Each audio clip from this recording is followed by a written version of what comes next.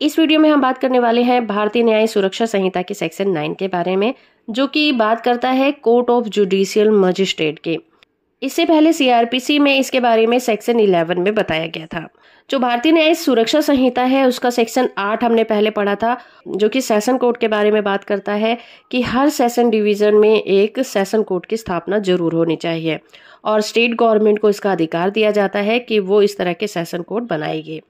इसी तरह से भारतीय न्याय सुरक्षा संहिता का section nine first grade magistrate और सेकेंड ग्रेड मजिस्ट्रेट के कोर्ट की स्थापना की बात करता है। यानी कि यानी कि फ़र्स्ट और सेकंड क्लास मजिस्ट्रेट के कोर्ट कहाँ कहाँ पर स्थापित किए जाएँगे, यानी कि बनाए जाएँगे और उन कोर्ट में बैठने वाले जो ऑफिसर्स होंगे, उनको अपॉइंट कैसे किया जाएगा, उनकी पावर्स क्या होंगी, उसके बारे में बात की गई है। इसका क्लॉज वन कहता है कि हर एक डिस्ट्रिक्ट जो कि मेट्रोपॉलिटन एरिया नहीं है, वहाँ पर फ़र्स्ट क्लास मजिस्ट्रेट और सेकेंड क्लास मजिस्ट्रेट के कितने कोर्ट बनाए जाएँगे और किस जगह पर बनाए जाएँगे। जहाँ पर भी स्टेट गवर्नमेंट को ऐसा लगता है कि ऐसी कोर्ट्स बनानी चाहिए, स्टेट गवर्नमेंट हाई कोर्ट से कंसल्ट करने के बाद इस तरह के कोर्ट को बना सकेगी। पर अगर स्टेट गवर्नमेंट को ऐसा लगता है कि किसी भी एरिया में स्पेशल मामलों से निपटने के लिए स्पेशल कोर्ट की ज़रूरत है तो हाई कोर्ट से सलाह लेने के बाद इस तरह के स्पेशल कोर्ट, क्लास वन और क्लास टू मजिस्ट्रेट की कोर्ट बनाई जाएँगी। और वहाँ पर सिर्फ़ स्पेशल तरह के मामलों की सुनवाई की जाएगी।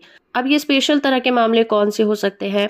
जैसे कि मैंने आपको पहले भी बताया है कि भारत में कई तरह के कानून एग्जिस्ट करते हैं, कई तरह के एक्ट बनाए गए हैं।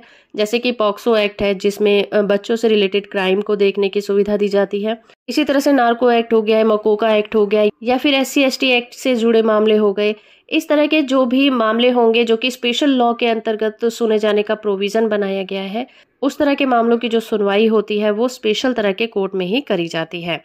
तो उनके लिए स्पेशल कोर्ट बनाने ज़रूरी हो जाते हैं। उन्हीं कोर्ट्स के बारे में यहाँ पर बात हो रही है।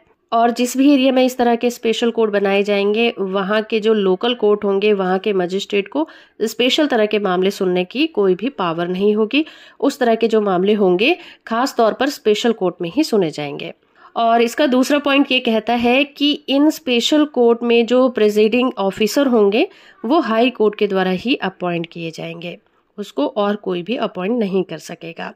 और पॉइंट थ्री कहता है कि अगर कभी भी हाई कोर्ट को ज़रूरी लगता है तो किसी भी सिविल कोर्ट के जज को क्लास वन जुडिशियल मजिस्ट्रेट या second class judicial magistrate appoint भी कर सकता है और जो उनको पावर दी जाएँगी, वो उन पावर को पूरी तरह से इस्तेमाल भी कर सकते हैं।